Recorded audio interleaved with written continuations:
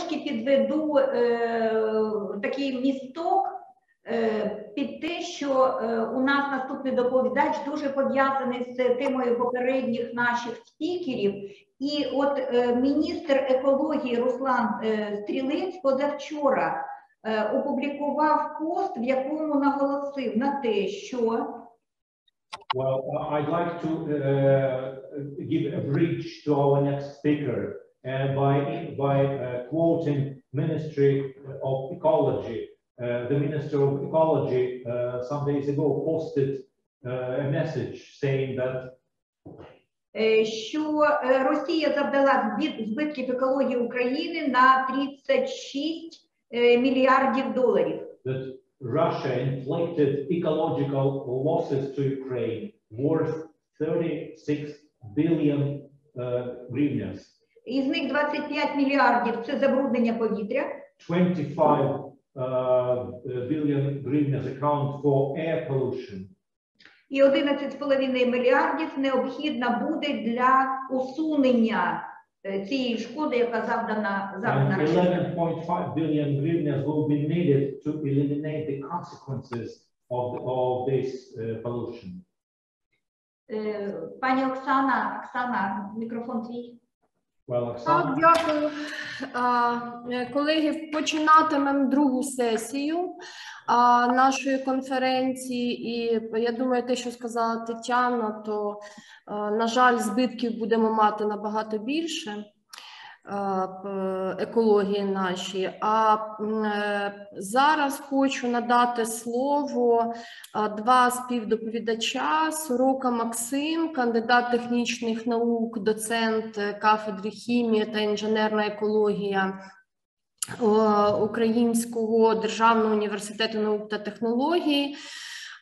Науково-технічний радник е, в міжнародному проєкті Чисте повітря для України е, з е, міста Дніпра, Україна та е, Церночова Марсела, громадська організація Арніка. Прага, Чеська Республіка. І, власне, е, е, наші колеги будуть говорити про роль екологічних Citizen Science проєктів для підтримки екології життя, ментального здоров'я та протидії дезінформації під час війни в Україні. Надзвичайно актуальна тема. Прошу, колеги. Доброго дня, колеги. Доброго дня всі, хто приєднався наживо на цю конференцію і буде слухати її в записі. З вами сьогодні буду виключно я, Максим Сорока, професійний еколог, науковець і громадський діяч. На жаль, Марцела прямо зараз транспортує додаткову допомогу від нашого від чеського народу і не може приєднатися наживо до цієї конференції. Продовження. Е, Попередні не гай, не будемо гаяти часу. Е, Продовжуючи попередню панель, е, пропоную вам подивитися на Citizen Science вже в практичному ключі е, і в, в дуже практичному ключі е, буденності і сучасності нашої України.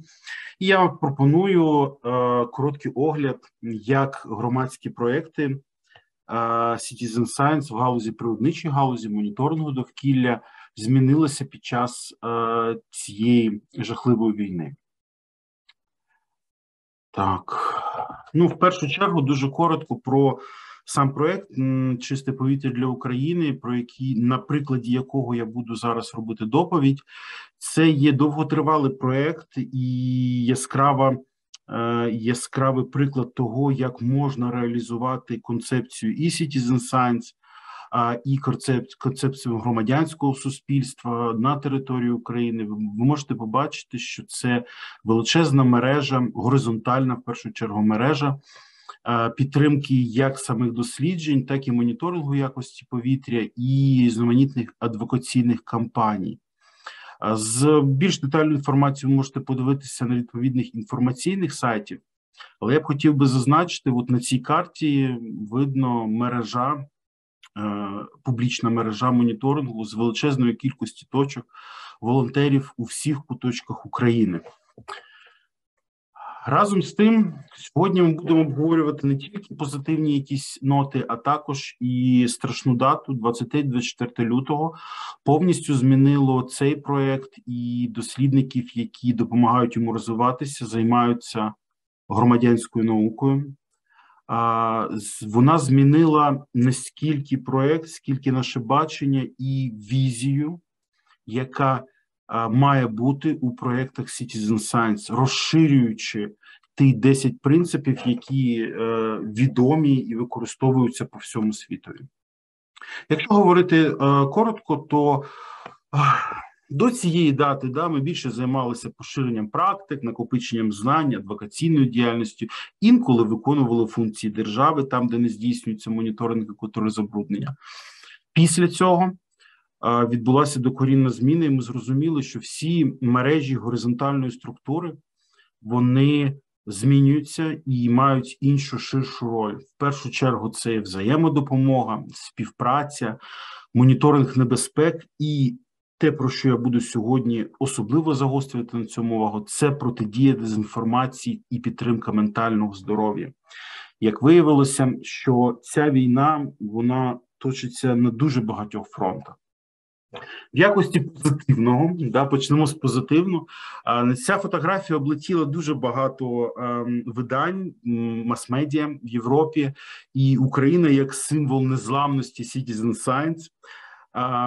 Це фотографія одного з волонтерів Харківщини.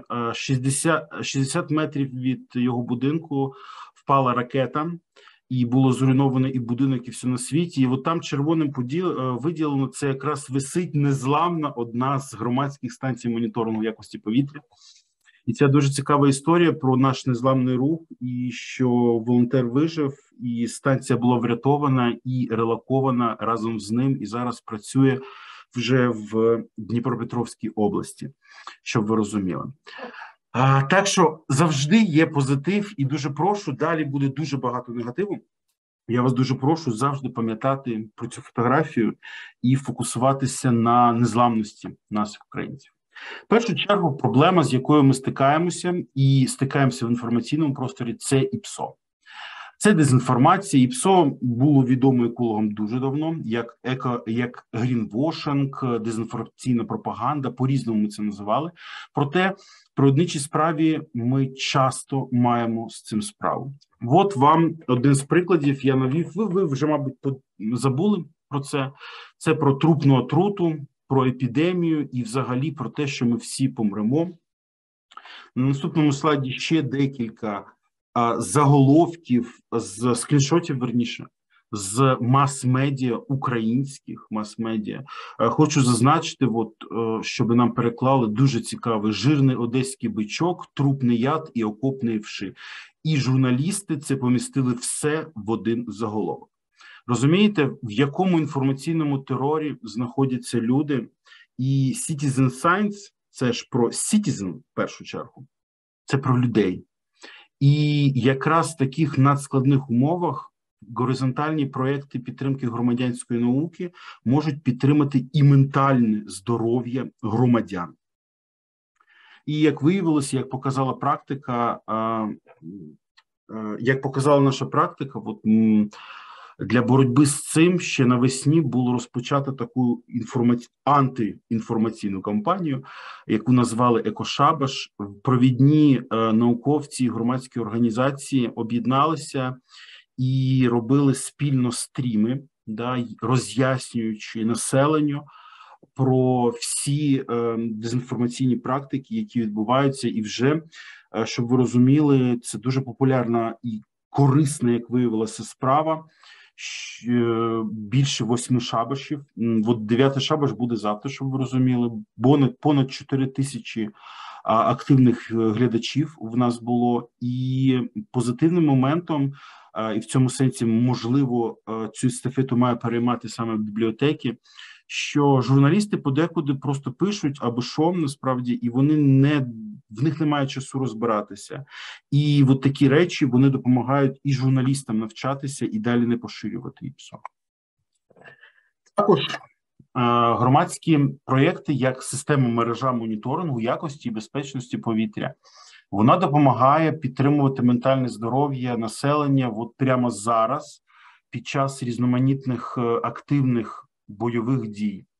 І от я для вас пропоную декілька буквально прикладів, які відбулися нещодавно в Україні. Страшний ракетний напад на місто Запоріжжя, і який сьогодні повторився, на жаль. На місто Запоріжжя, от ви бачите слайди загального контексту. Ракети С-300 атакували населене місто, і відбулася і, і містом поширилася значна паніка про забруднення, задимлення, підвищення радіаційного фону і такі далі. Разом з тим, громадські мережі моніторингу за рахунок того, що вони відкриті і працюють в онлайн режимі, оперативно спрацювали і чітко показали, в яких локаціях міста дійсно спостерігається забруднення, а в яких населенню не варто переживати через це. Е, і на цьому слайді, от ви можете бачити оперативну оцінку якості повітря в різних районах міста, і ви бачите, як використовується кольорова діаграма. Да, е, Ми її називаємо діаграма світлофор. Е, від зеленого безпечного до червоного дійсно небезпечного. Разом з тим, співпраця вже з науковцями, які аналізують дані, вона дозволила в той же день проаналізувати ситуацію і довести до відома людей, мешканців цього міста, що не варто перейматися сильно. Гамма радіаційний фон не підвищений. Відбулося короткострокове да, забруднення повітря, але воно швидко прийшло в норму, не спостерігається інших ризиків для здоров'я. І ця хвиля ІПСО була. Ем, ну, це було удачний приклад. Вона була зупинена і в телеграм-чатах, і в різних інших публічних засобах масової інформації. В якості другого прикладу, так, системи громадського моніторингу і об'єднання науковців, громадськості і вже органів влади допомагають зберігати ментальне здоров'я населення в умовах радіаційного терору. Не секрет, що наш ворог це країна-терорист, тим паче ядерний терорист. Дамоклов меч ядерного терору висить дуже активно, і зараз він активно поширюється всі ці ІПСО. Ми не будемо применшувати цю загрозу. Разом з тим, наша задача допомогти населенню зберігати мозок холодним, зберігати їх ментальне здоров'я. На цьому слайді ви бачите, як навіть великі інформаційні і поважні інформаційні канали, як 24 канал і наш обласний офіційний телеграм-канал, теж поширюють. Поширюють інформацію не до кінця перевірено і таку, яку створює додаткову паніку і загрозу для ментального здоров'я населення. Разом з тим, той випадок, який ми з вами обговорюємося, обговорюємо 29 вересня. Він стався. Е, Енергоатом офіційно опублікувало, що все це є фейком, і не варто перейматися, не варто вживати юдіт калію або інші препарати, радіопротектори, і не варто робити додаткову шкоду для здоров'я. Разом з тим, це ІПСО поширювалося майже 6 годин і наробила лиха. В цьому сенсі в цьому сенсі надходить саме допомога від е, Citizen Science проєктів, таких як Чисте повітря для України і мережа екосіті радіаційного моніторингу якості повітря. І ось тут ми бачимо огляд саме в цей період огляд гамма радіаційного фону в різних локаціях, що все знаходиться в межах норми, немає ніяких перевищень. Це є така природня флуктуація фону, і не треба вестися на ІПСО. І якщо буде дійсно загроза, всі отримують оповіщення і більш детальний аналіз е, з спільно з колегами з декількох університетів, який показує, що навіть в умовах сильного вітру все рівно спостерігається нормальні показники гамма радіаційного фону і пиловидалення на цих локаціях, і мешканцям, наприклад, Нікополя і Марганця, не варто так сильно перейматися. Ну, верніше, не варто перейматися за це. Ось так. І наостанок я хотів би продемонструвати, як за ці вісім місяців Citizen Science проекти, які активно реалізовуються багато років, вони переосмислили і додали три нових принципи до відомих принципів Citizen Science про те, що в умовах кризи, а війна це страшна криза. Ми маємо переглянути наші підходи і від інформування перейти до оповіщення, тобто до пояснення, роз'яснення, посилити свою освітню функцію, а також додати три ключових принципи. Ми маємо забезпечити безпеку волонтерів, і тому зараз існують, наприклад, протоколи, які дозволяють волонтерам стати непомітними, да? особливо в, в зоні окупації. Додаткове підтвердження даних, тому що вже є випадки, коли намагаються використовувати і такі проекти е, з дезінформаційною пропагандистською метою. І наша розширена відповідальність, е, я про неї вже сказав, вона позначена як освіта. І на сам кінець, шановні друзі, просто в якості демонстрації. В телеефірі наживо наша Україна це є мережа Екосіті і діалогове вікно. От наша вся мережа. Зверніть увагу навіть інколи на окупованих територіях. І наше багатостраждальне місто Запоріжжя. Я зараз виділю, перейдемо на їх вкладки і подивимося, що відбувається в місті. З пилом все зелене, все в нормі, радіаційний фон не порушений. Трохи є підвищений формальдегід, але все теж в- межах норми, і населенню, принаймні з цього приводу, можна не турбуватися. Ось так. Е, ось такий дуже коротко, максимально коротко. Я майже вклався в регламент. Максимально коротко я представив, як яка роль взагалі є у природничих Citizen Science проєктів, і як вона змінилася через страшну, ганебну і ну, вся інша лексика буде абсентною. Війну, яка розпочалася в лютому місяці в нашій країні. Дякую за увагу. Я радо відповім на ваші питання і залишаюсь. Можете їх далі писати в чаті. Е, Дякую, пане Максиме. Е, В чаті поки що запитань немає, але можливо будуть. Е, Я хочу абсолютно підтвердити вашу тезу про те, що бібліотеки точно можуть бути партнерами в усіх тих питаннях, які ви озвучили, і, зокрема, в боротьбі з ІПСО.